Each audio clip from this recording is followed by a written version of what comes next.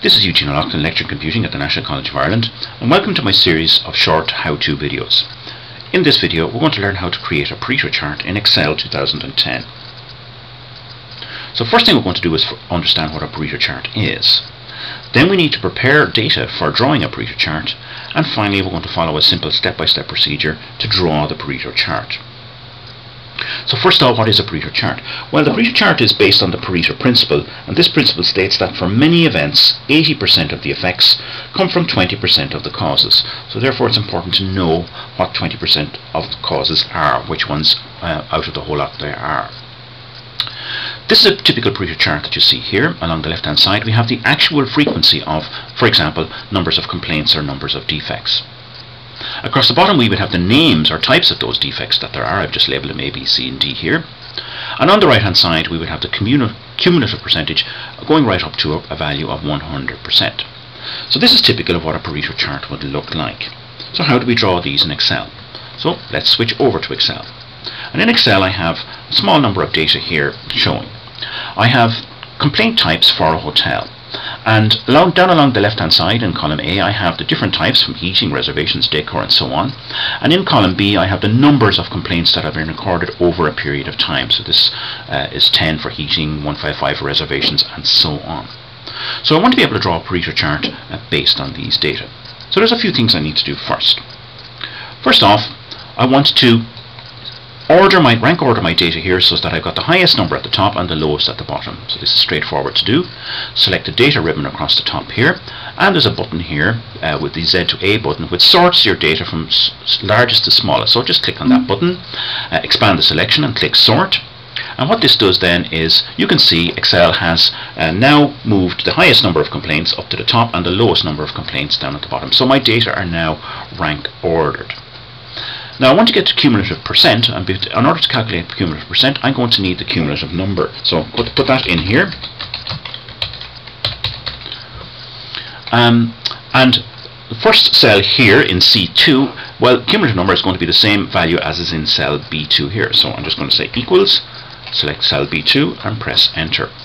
Next, for a cumulative number, I want to add this number here that's now in C2 to the number that's in B3 to get a cumulative value. So that's straightforward enough.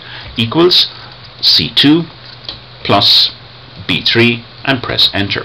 And you can see here that 287 plus 155 is equal to 442. And I'm going to use Excel's expand tool here to copy that formula down to the remainder of the cells. And we can see down at the end here that there's a total of 691 complaints recorded over the period of time. So this is our total mark. Now we're almost there. We now need to calculate a cumulative percentage. So I'm going to need a formula to do this, and a formula for the percentage is relatively straightforward. I want to know the cumulative percent for each of these values here. So, first off, I need to calculate how much 287 is percentage-wise of 691. So my formula here is going to read something like this. Put in equals, I'll need a bracket here.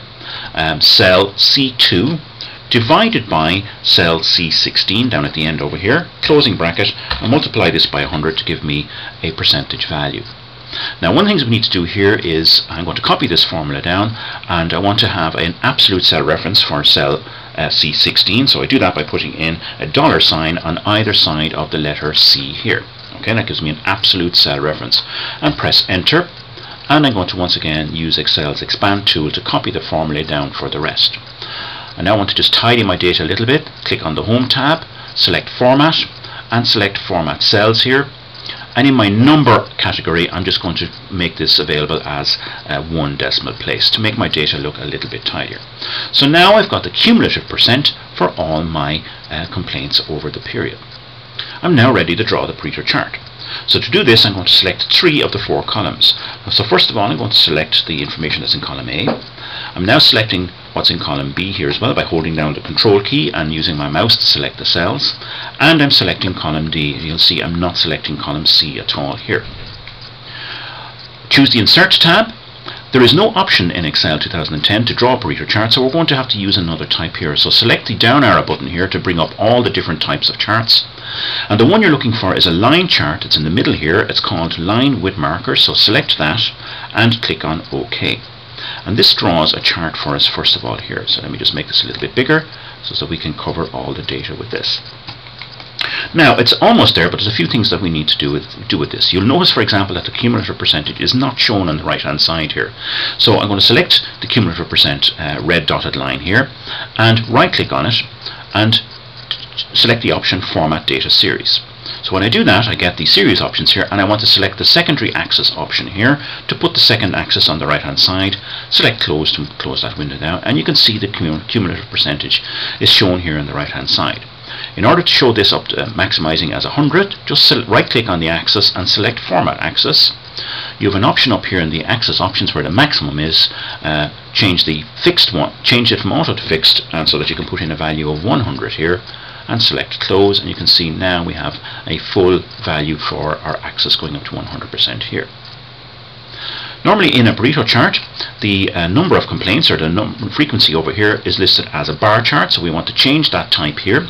So uh, I've selected the blue dotted line, go up to change chart type here on the um, ribbon at the top, and just select it straightforward, the first one in the top left hand corner, the column, and click on OK and this will display my data now in a format that's typical of what a Pareto chart will look like.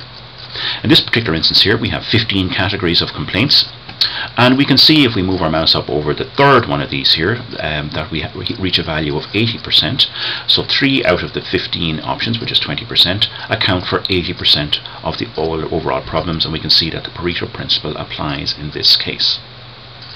So that's how you use Excel 2010 to draw a Pareto chart. I hope you found this video useful. Thank you for your attention.